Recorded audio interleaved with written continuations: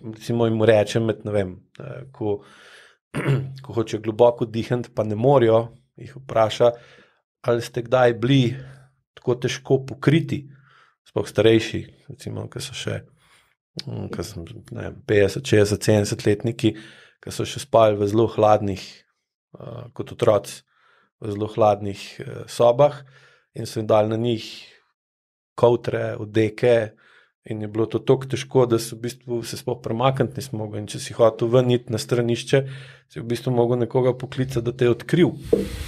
Zdaj si ja predstavljaš, če si se zbudil, vem, ob dveh zjutraj, pa te je tiščal, pa ni bilo nobenega. In pa tukaj pride do, do močnega strahu, moš močno stisniti notranje stegenske mišice, medenično dlo, uh, spodnji del trebuha in držati to do zjutraj. Uh, In pa, ko tak človek leži na tleh, pa ga učiš, kako naj vdihne, pa s tem sprosti, ob tem sprosti spodnji del trebuha, medenično dno, notranje stegenske mišice ne, in sprosti trebuh, mu pridejo določeni občutki iz telesa v zavest, eh, ki jih običajno ne zaznajo, pa ne ve, kva to je. Ne, ko pa ti spomniš na tako stvar, mu pa pride en cel set um, spominov, in pa v bistvu dojame. Uh, kalah, za kama recimo že uh, desetletja težave z unetim mehurjem ali pa za kaga. Uh, zakaj toče, zakaj s koleni toče eno ob drugo, ko teče. Hmm. In pa, ko to dojame, pa lahko uh, se gre, recimo, prije do določenih spoznanj, ki jih razume in jih s tem sprejme, in pa lahko gre spremenjati uh, sebe skozi uh, proces, ki ga v AEK uči in s tem spremeni uh, to napetost, in pa neha točiti s koleni, in rab noč tenis kupovati z uh, suplinacijo ali pa v neke vložke noter dajati ali pa dajati blizino med kolena, ko spi, da ga kolena zjutraj ne bolijo. Ne, če mm. se vprašaš, misliš, hva resno, ne, zakaj bi. Če ležiš na boku, te zjutraj kolena bolela. Jaz zato, ker tiščim kolena skupaj po noč, ko spim. Ja. Pa za koga? Hmm pomeni, da ima kronično napete aduktorje ne? in pa ta energija, ki jo daje ven uh, zjutraj, ali pa ga vmeže po noč zbudi kot bolečina, ki je nesmiselna, če ti spiš, ker si brez zavesti in bi le mogle mišice biti. Sproščene. Ja, in pa dajo polšter med kolena, ali pa imaš posebne blazine, kupe za te stvari. In ne vem kaj. Noben pa ne reče, halo, zakaj je to dobro. In taka oseba, ki ima tako polšter med koleni, ko gre na učenje dihanja, pa, ga, pa mu razložiš, zakaj, kako ne, lahko to pol spregleda. Bomo rekli tako. Mhm. Čeprav, ko ga gledaš pa po sliki, se pa kumi premika. Mhm. Sam, pozornost mu pa iz, iz pozornosti na zunani svet uh, peleš v telesno pozornost, kjer opazi stvari, ki jih drugače ne. Tako kot je prej Jan je razlagal, kako ta hod, kako kun hod. Zakaj je toliko več plešastih ljudi? Ne? Zaradi potlačene uh, jeze, potlačene agresivnosti. Če ti danes hočeš živeti po principu oko za oko, zob za zob, boš hitro šel v zapor. Ne?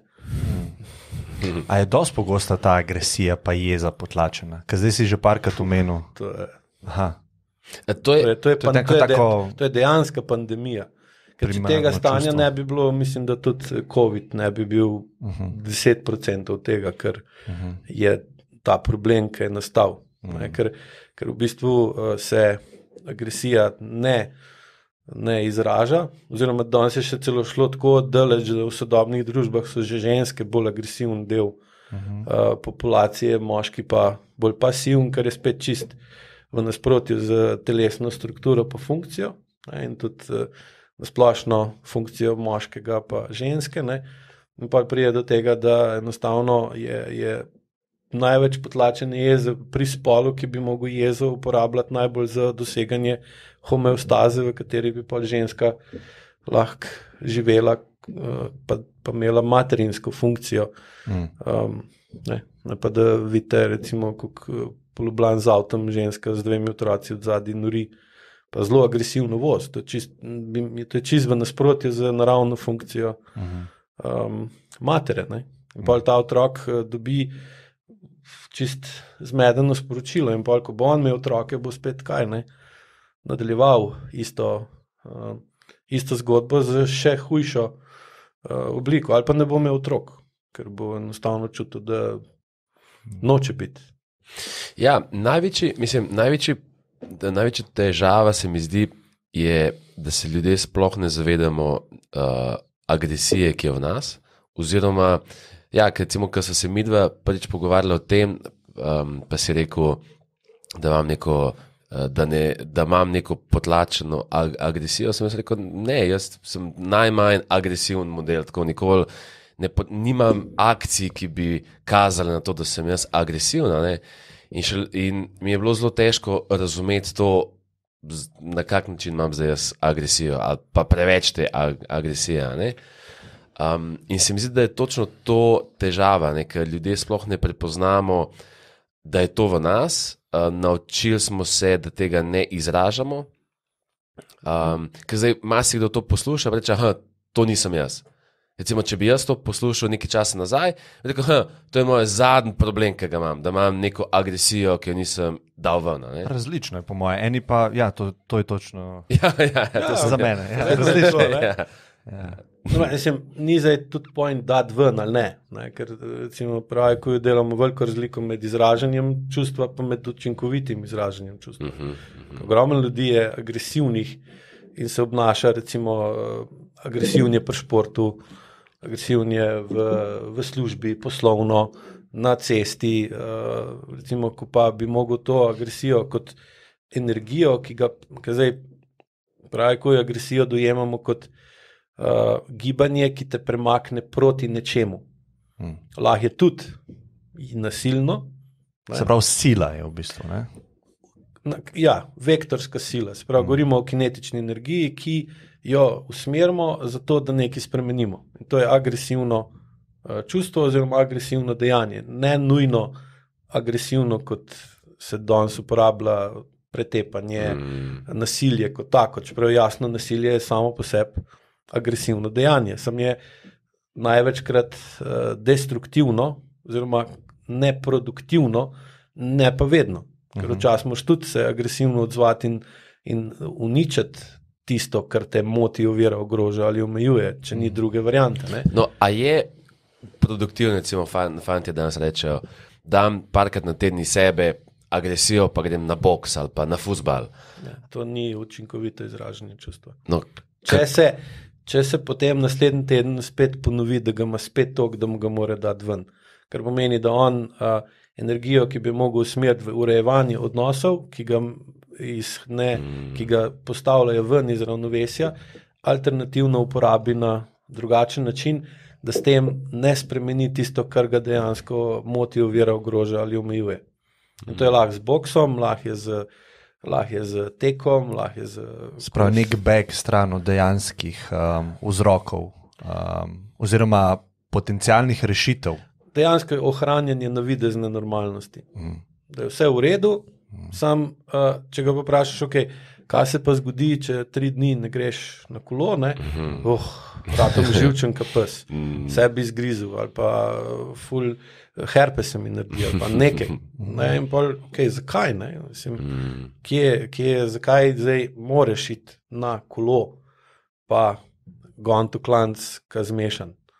Pa, ko priješ pa domov, pa vidiš, da te nekaj moti, pri ženi ali pri otrocih, ali te mama pokliče, pa oh, spet mm. z očmi zaviješ. Ne?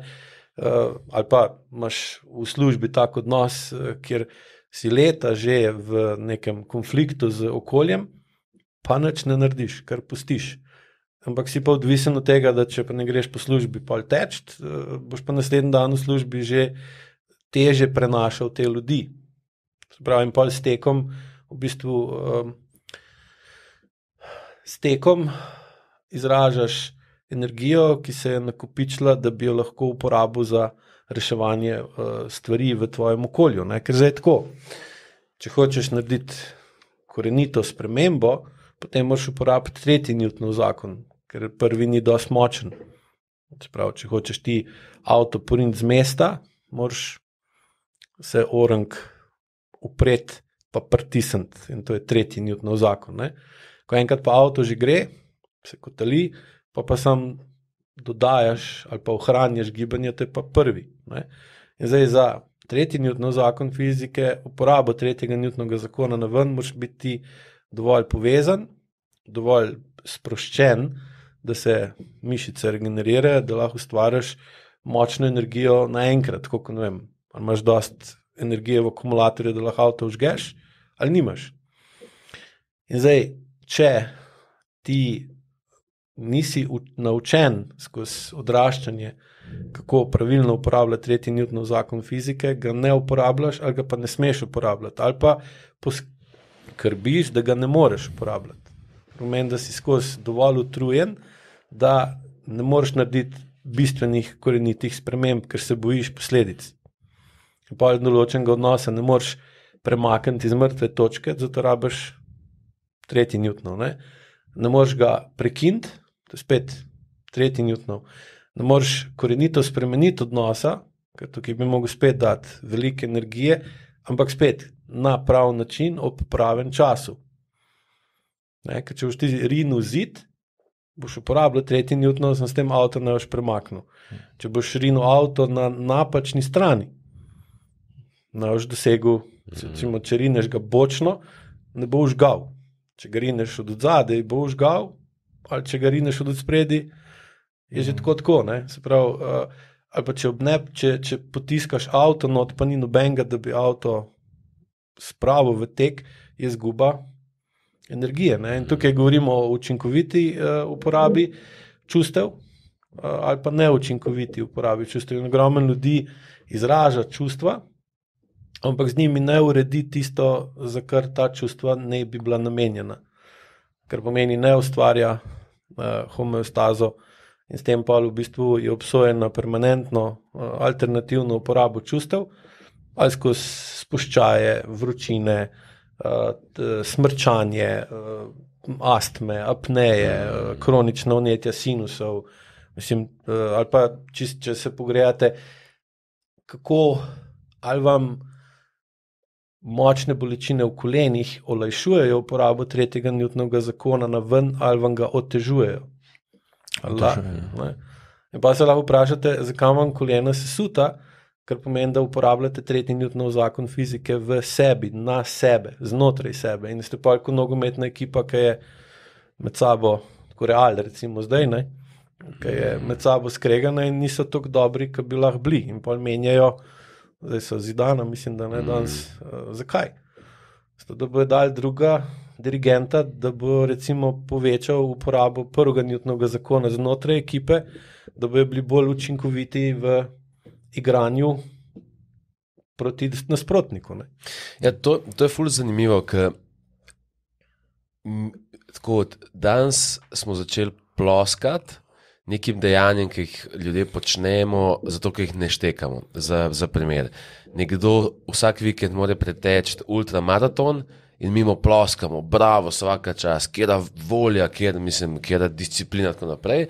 A v bistvu ta človek beži pred ženo, ne, pred, pred No, pred službo, nečim. pred, ja, pred nečem. ja.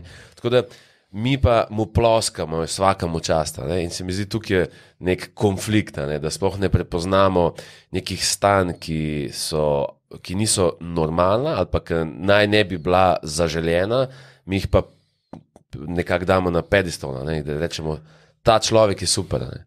Ja, ker če bi jih prepoznali, pa bi mogli nekaj narediti um, s tem.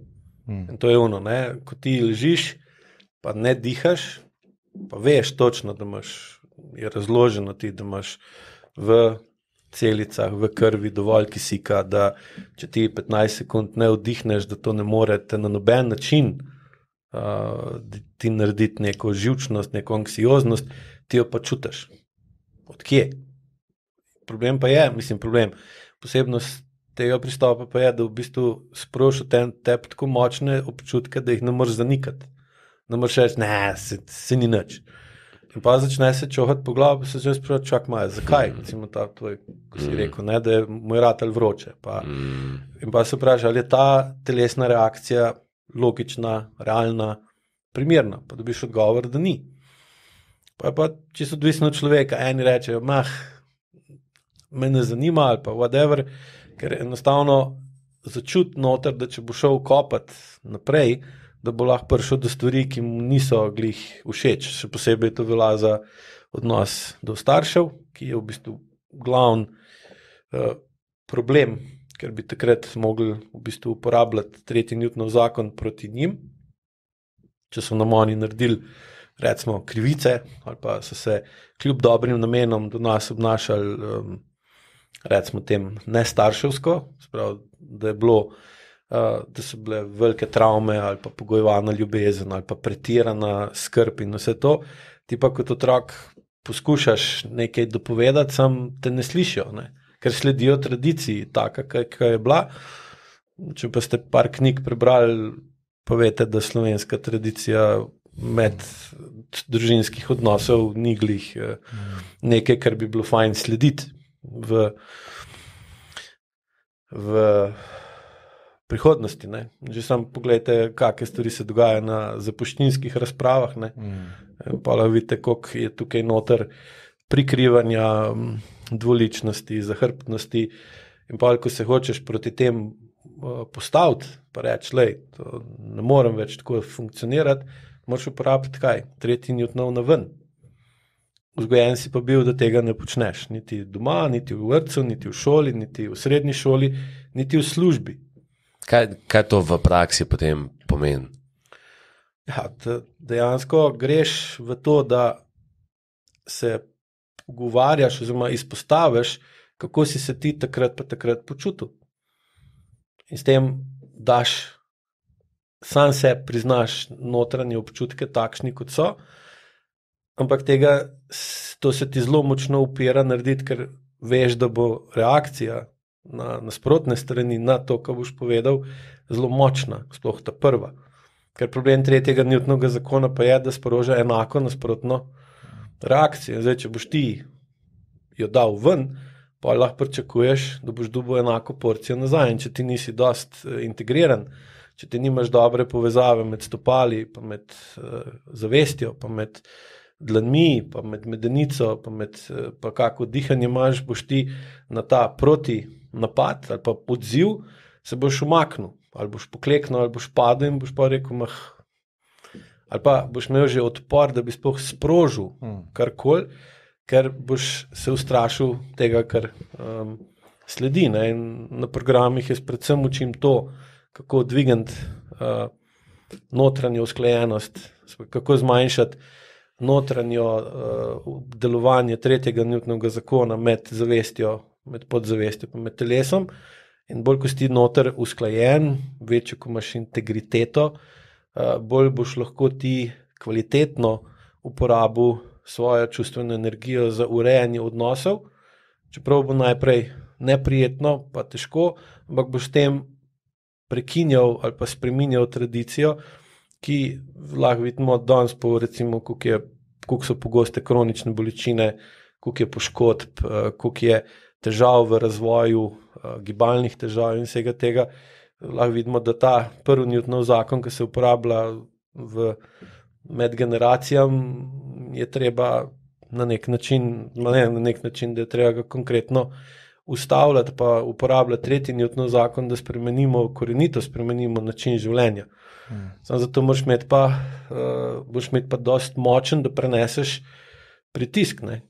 Sami veste, da ko se lotiš nekega tradicionalnega odnosa, da, pr, da tukaj pride do zelo močnih odporov okolja na spremembo tradicije. Čeprav je lahko ta tradicija, ta sprememba zelo uh, primerna ali pa dobra.